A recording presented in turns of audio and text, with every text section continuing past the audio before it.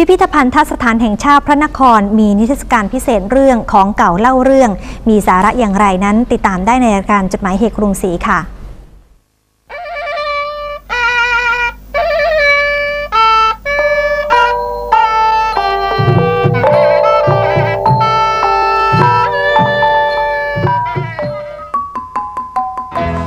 การจัดแสดงโบราณวัตถุ ศิลปะวัตถุ ในพิพิธภัณฑ์ทัศฐานแห่งชาติของไทยเมื่อแรกเริ่ม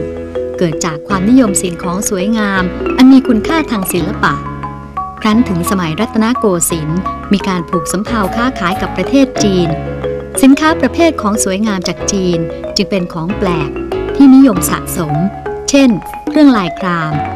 เครื่องกระเบื้องเขียนลายห้าสี ที่ชาหรือชุดปั้นชา การสะสมหรือการเล่นของสวยงามนี้แพร่หลายอย่างมาก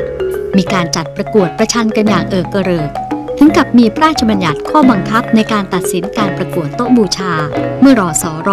112 ต่อมาเมื่อมีการเจริญสัมพันธไมตรีกับชาติตะวันตก เครื่องราชบรรณาการจากกษัตริย์หลายประเทศ ถูกส่งมาถวายพระมหากษัตริย์ไทย อันเป็นของสวยงามและแปลกตา เช่น ลูกโลก รถไฟจำลอง เครื่องแก้วเนื้อดีกล้องยาสูบ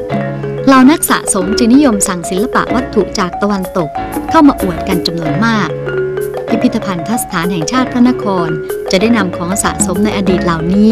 มาจัดแสดงในนิทรรศการพิเศษ เรื่องของเก่าเล่าเรื่อง ในระหว่างวันที่ 26 ธันวาคม ถึง 9 มกราคมศกนี้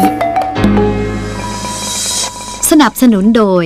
ธนาคารกรุงศรีอยุธยาจำกัด มหาชน